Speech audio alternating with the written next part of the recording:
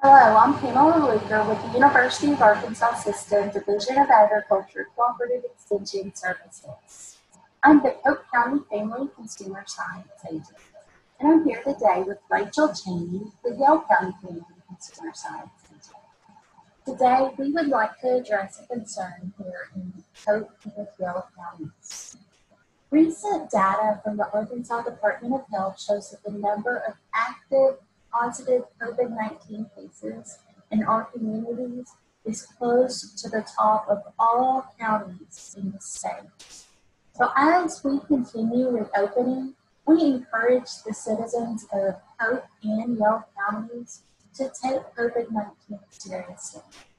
Here's Rachel to tell us how we can stop the spread of this virus. First, we need to educate ourselves on how COVID 19 spreads. The virus is thought to spread mainly from person to person. This is between people who are in close contact with one another within about six feet through respiratory droplets produced with, when an infected person coughs, sneezes, or talks. These droplets can land in the mouths or noses of people who are nearby or can possibly be inhaled into the lungs. COVID 19 can also spread by people who are not even showing symptoms. So, next, let's look at how we can prevent the spread of this virus. The best way to prevent illness is to avoid being exposed to this virus. You can take steps to slow the spread.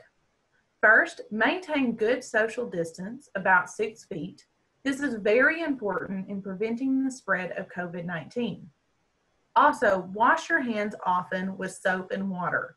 If soap and water are not available, use hand sanitizer that contains at least 60% alcohol. And remember, when you're washing your hands, to always use warm water and to scrub for about 20 seconds.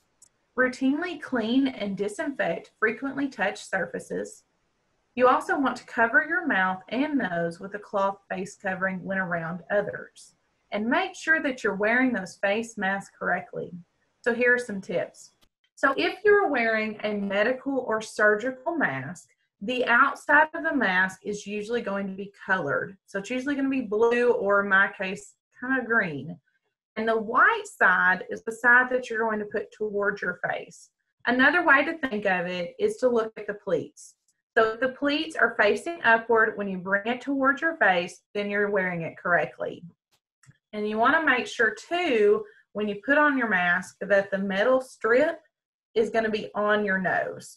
That way you can bend it and fit it to your nose and try to get the best fit possible. Now I'm going to pass over to Pam and she's going to describe how to properly put on the mask while I demonstrate. So first, you're, you want to wash your hands before putting on your face covering. Put it over your nose and mouth and secure it under your chin.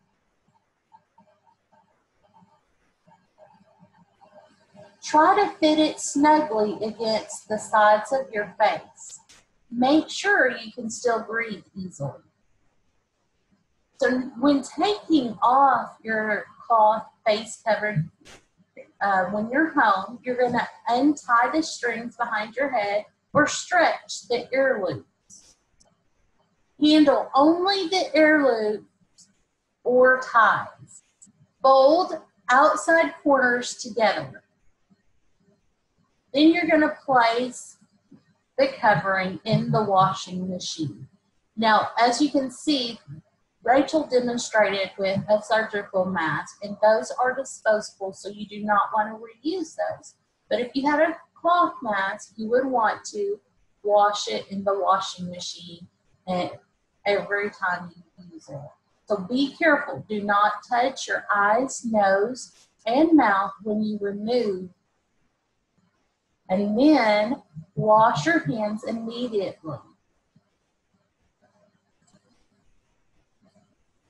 Although there are different beliefs about how serious this virus is and disputes about wearing masks, research based information tells us that it's not to be taken lightly. So please protect yourself and others when you're out in public.